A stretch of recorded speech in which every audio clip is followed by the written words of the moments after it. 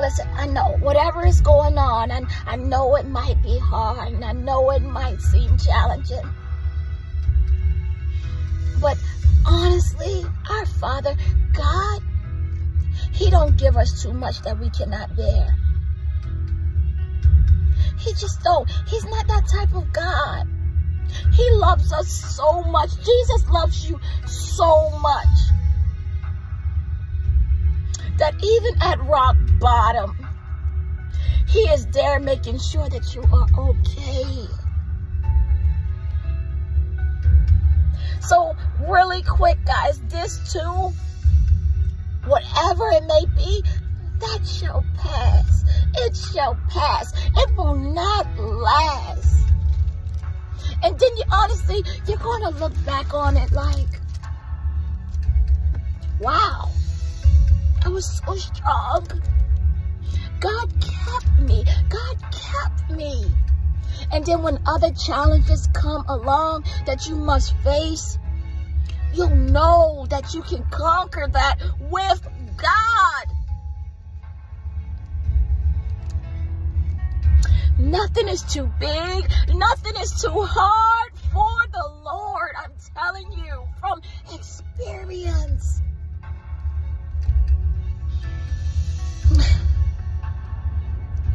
Everything will be okay, child of God.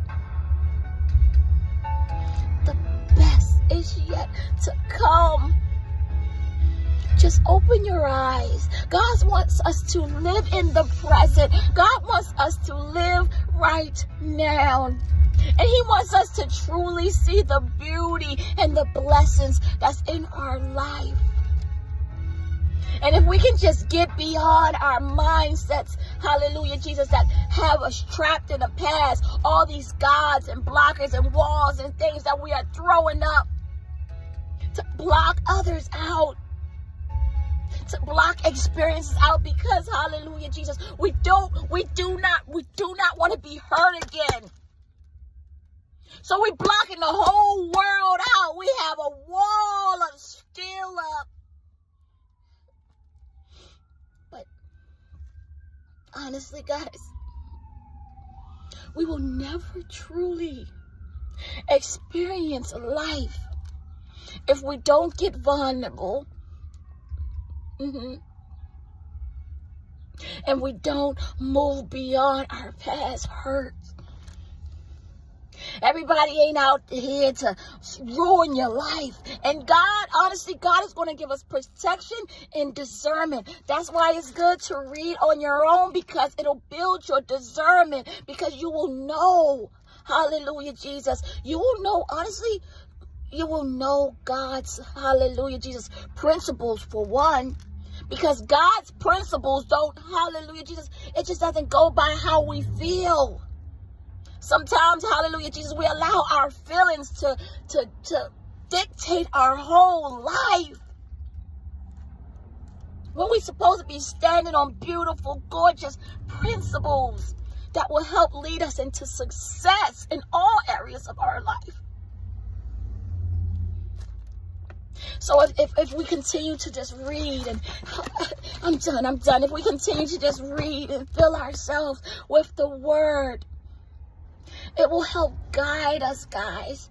And it will build our discernment so we'll know, hallelujah, Jesus. And we can, we can, we can honestly see if, this person is good, bad, ugly. And we can honestly maneuver through situations and circumstances that we may face. Because God will give us instruction and direction. And honestly, this is the last point I'm going to say. Hallelujah. Because I'm way off topic. When we, when we do everything by our feelings, guys, we always end up being hurt. All right, but if we, hallelujah, stand on the principles of God and God's word and check things out first. You know, Lord, is this, do you think this is the right career path? It's okay to ask these things. It's okay to go to God first. Go to God first. Sometimes things are packaged in such a way that we believe that it's from God. And then we don't even go to God and ask Him, Lord God, is this something that you presented to me? And we open up the package and we end up hurt. So honestly, when something is presented to you, ask God about it. Sit in it real quick. Before you even open it up, ask the Lord, like, Lord, is this for me? And God will give you the answer. It might not, hallelujah, Jesus, come in the way that you think. The answer might not come in the way that we think because God can speak and talk through anything. God can give us, it can come in a still small voice. It can come in a large voice. It can come through a television program, a radio, while you're playing the radio. It can come through somebody that you're just passing on the street. It can come to you from your pastors, your bishop, through confirmation in the service. It can come from a YouTube. It can come from so many different sources. because So that's why it's good to have an open outlook on how God will communicate to you. Okay? And it's good, honestly, to, to read your Bibles because the Bible tell you the characteristics and, and, and the, those stories shows you who Jesus is and how he operated on earth.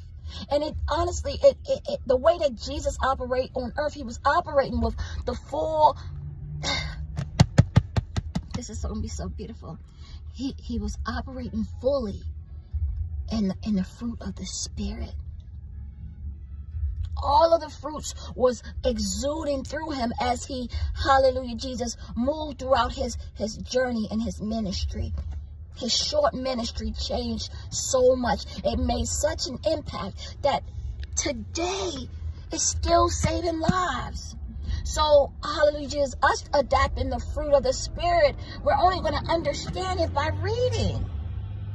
To be honest, you know, I know, I know it's hard. It's hard to, to implement some time with God. It's hard because we're so busy doing this. We're busy doing that. We're busy building our careers. We're busy going to school. We're just so busy.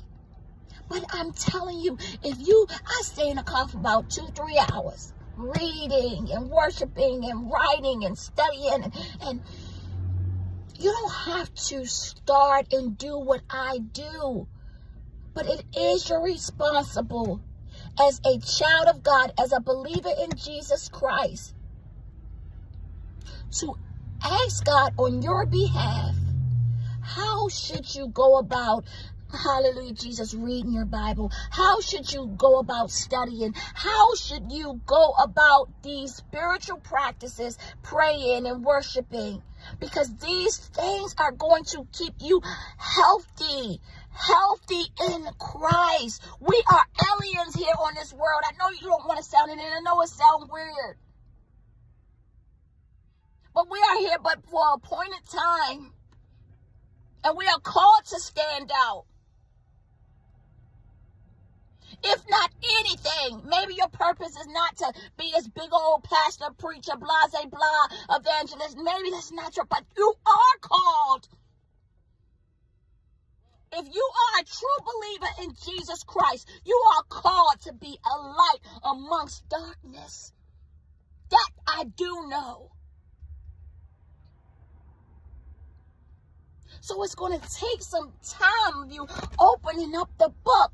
Even if you start with five minutes. Five minutes of your day. Ten minutes of prayer. Five in the morning, five before you go to bed. I cannot pray for you. Your pastors cannot pray for you. You must war and pray. It's your responsibility for you and your family. You are the covering of your family. And your prayer don't have to be sophisticated. And it doesn't have to sound like mine's, Bishop and them's, none of that. But you must take responsibility